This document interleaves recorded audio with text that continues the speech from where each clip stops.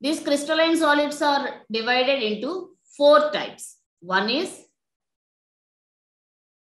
ionic solids.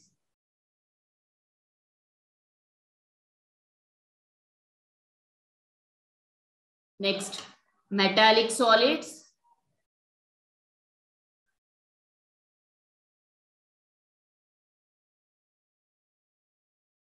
Covalent solids.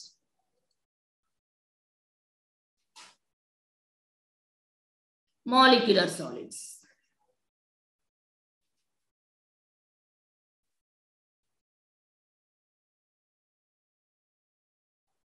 the name itself it is denoting the difference between all those solids. So what are ionic solids? The constituents may be ions not maybe should be ions cation anion.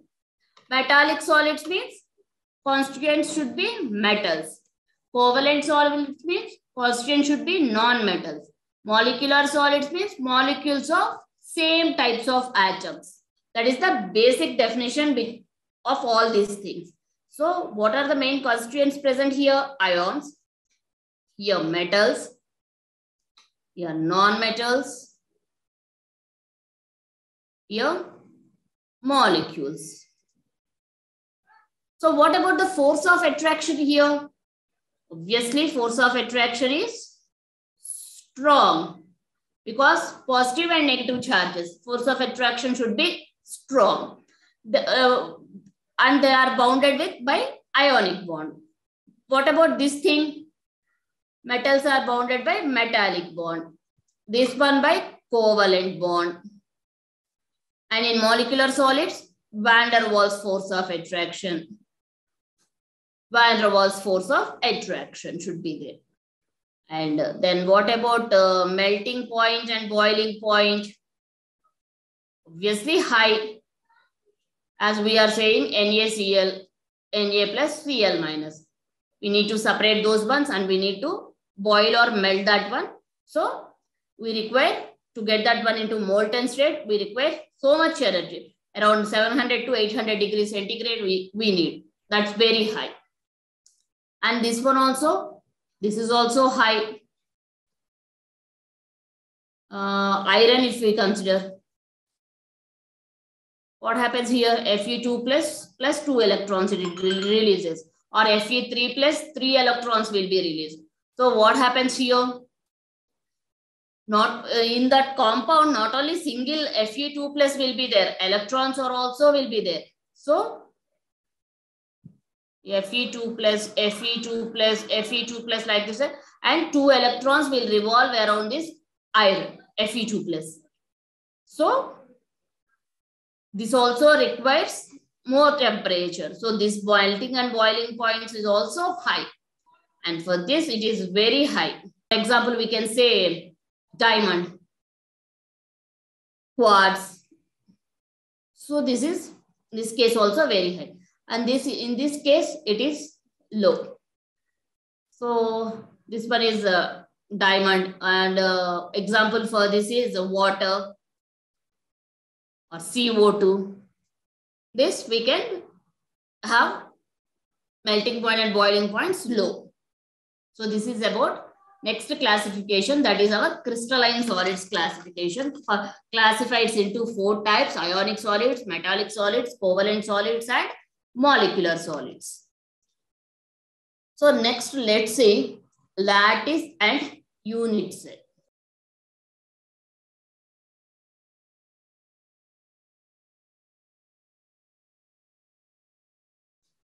lattice and unit cell. What do, we, what do we mean by lattice, first of all? We discussed that solid is a closely bounded constituent particles matter.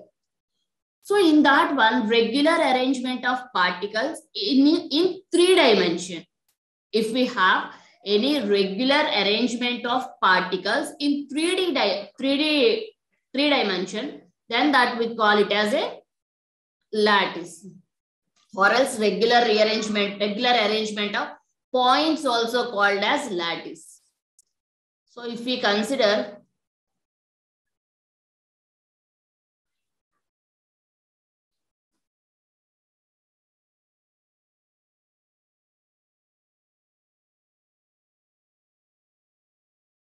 Observe this one. I am following one pattern here.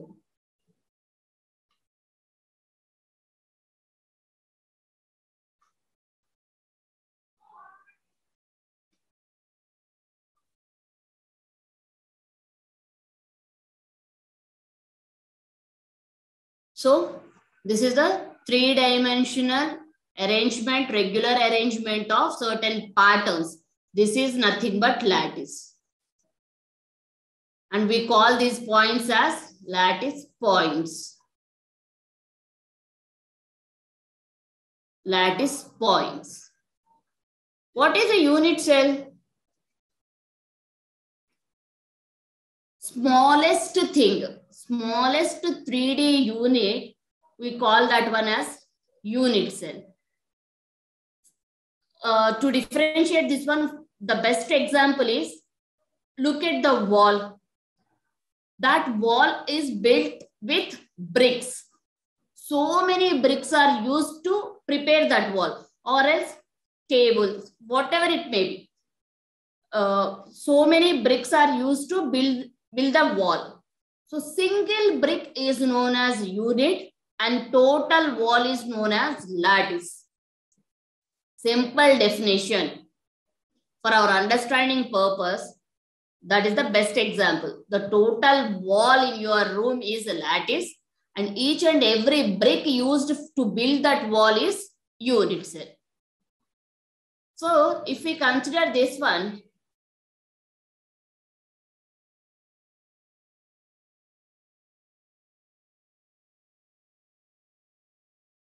I'm showing one more pattern here.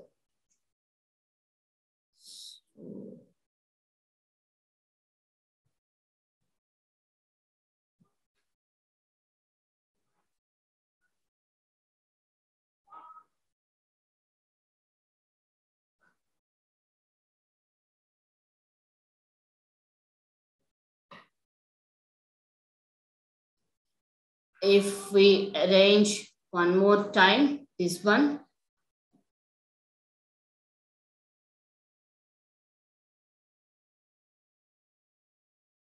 This is complete lattice and this is our unit cell.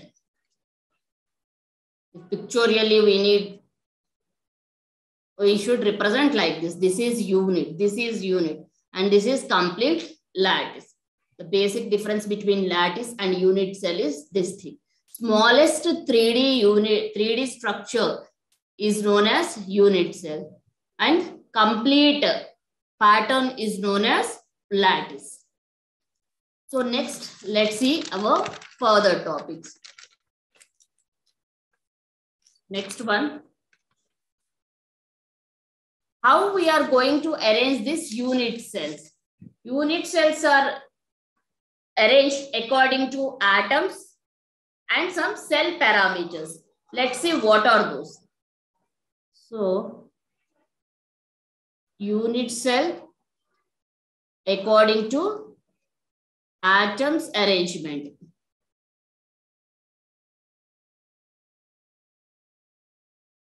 Unit cells according to atoms arrangement. Important one. From this, our topic, our original topic starts. So how we, how by conducting experiments, what they concluded, scientists, what they concluded, this is divided into two types, first of all. This is simple unit cell. First one is simple unit cell or else primitive unit cell. And the second one is centered unit cell.